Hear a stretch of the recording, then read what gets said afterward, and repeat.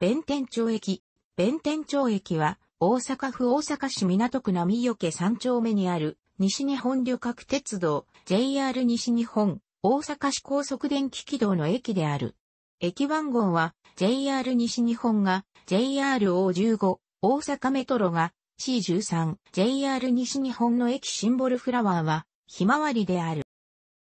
天保山を要する大阪地港への入り口にあたる駅で JR 西日本の大阪環状線と大阪メトロの中央線との乗り換え駅となっている。JR 駅の高架のさらに上層に地下鉄駅が位置するという構造が特徴的である。このほか、駅周辺では、阪神高速17号西大阪線、国道43号、阪神高速16号大阪高線が交差し、交通の要所となっている。駅名は開業時の町名だった弁天町に由来するが、駅所在地は辰巳町を挟んで二つ西隣の八雲町だった。なお、八雲町、辰巳町、弁天町のそれぞれ中央大通以北は現行町名では波よけとなる。弁天町の弁天は一岡神殿会所に弁祭店が祀られていたことに由来する。駅開設当時の大阪市内には、当地の港区弁天町の他にも東区、現在の中央区弁天町や東住吉区、売割弁天町があったが、前者は1979年に白身に解消、後者は1974年の平野区分離の際に、売割に改めされた。相対式ホーム2面2線を有する高架駅であるが、分岐器や絶対信号機がない停留所に分類される。ホームは3階、改札口は北口と南口の2カ所。北口の改札口は1階にあり大阪ベータワー、旧多く202、南口の改札口は2階にあり大阪メトロの駅に、それぞれ通路を経て直結している。エスカレーターは北口及び南口の1.2番、乗り場への階段前に、エレベーターは南口の1.2番乗り場階段前に設置されている。また、1番乗り場、内回りの南側では、立ち食いうどん店が営業していたが、交通科学博物館が営業していた頃には、同館の野外展示車両の一部を見下ろすことができ、壁面にも同館への最寄り駅であることが案内されていた。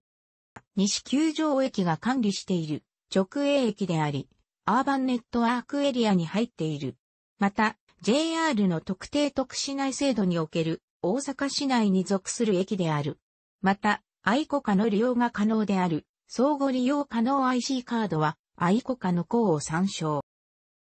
長らく乗り場番号が存在しなかったが、2006年10月中に乗り場番号が付与された。大阪環状線改造プロジェクトの一環として、2015年3月22日からアメリカ民謡の線路は続くよ、どこまでもが発車メロディとして使用されている。かつて駅前に交通科学博物館があったことにちなんでいる。駅は中央大通の中央分離帯部分の高架部にある。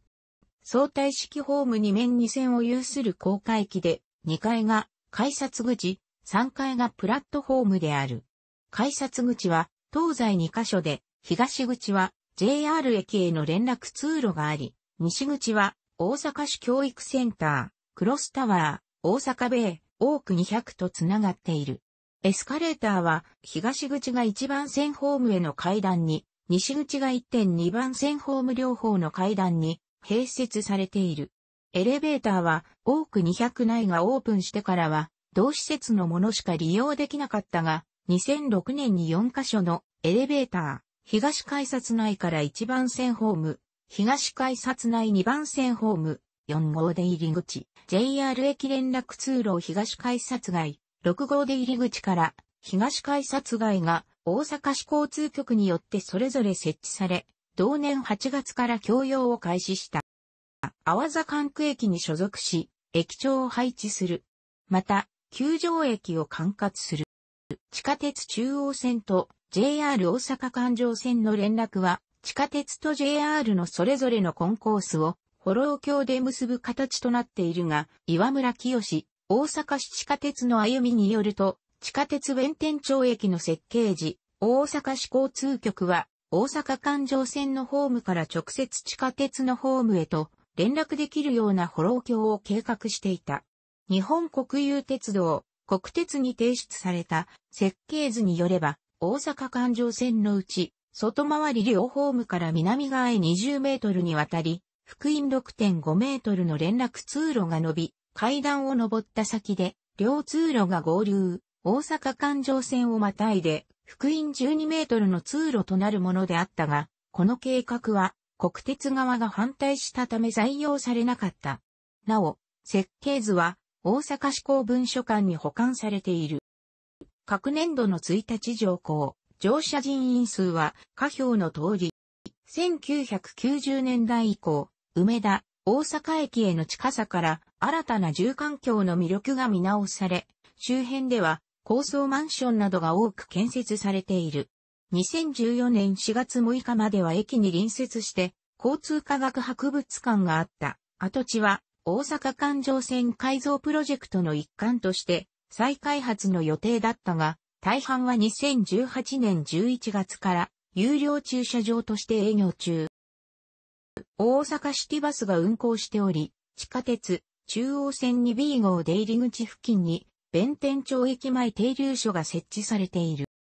日本交通が運行しており、乗車は弁天営業所、降車は地下鉄、中央線3号出入り口付近の大阪弁天町停留所で扱う。楽しくご覧になりましたら、購読と良いです。クリックしてください。